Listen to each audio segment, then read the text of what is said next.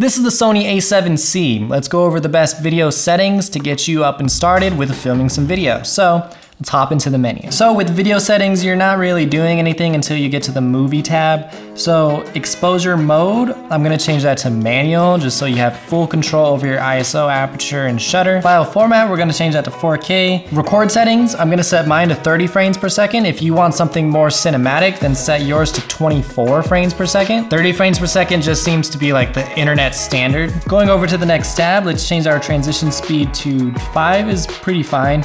And then the sensitivity, put that all the way up at five. That way it is detecting what it needs to focus on pretty quickly and then taking a second to actually focus. That way it's not too, too jarring. Going over to the fourth tab, turn movie with shutter on. That way you can use the big shutter button at the front to actually record. Go over to seven out of 10, finder monitor. I'm gonna change it to where it's monitor only.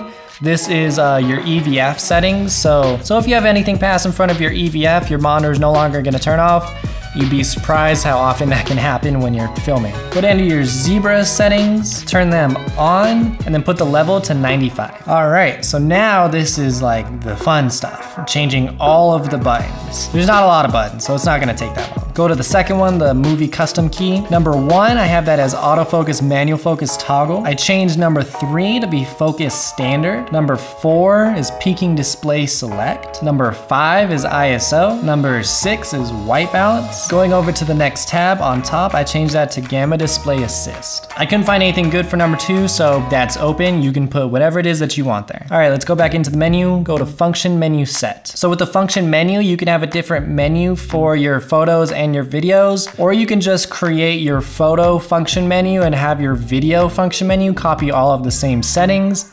It's up to you. But for this video, let's go down to the bottom with the video function menu. For these first two, I have nothing set. So the next one I have grid line, focus area, audio record level, and then on the bottom, I have marker display, white balance, and picture profile, and slow and quick framing. I have a couple open spots because I don't use them, but feel free to put whatever it is that's gonna make your life easier there. Go back into your menu, go to the next tab, to your network tab, and then turn airplane mode on this is gonna help you with battery life. Then underneath the toolbox in the second tab, go to auto power off temperature and turn that to high. I doubt that this camera is going to overheat, but this is gonna make sure that that just really doesn't happen. So we are almost done. The last thing that we're gonna do is set up our picture profiles really quickly.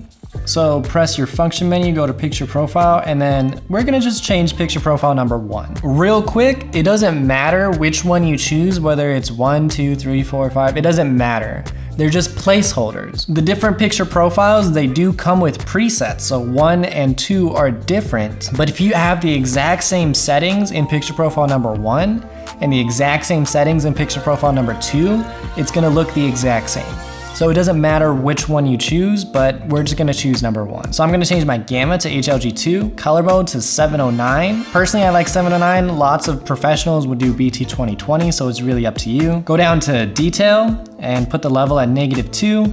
That's just taking out some of the internal sharpening. Go down to adjust, crispening, and put that at seven. This is just making sure that none of the noise in your footage is going to be sharpened. But that's about it. That's how I'm setting up my A7C. Let me know if you set it up the same way and if you like it or whatever it is that you're doing.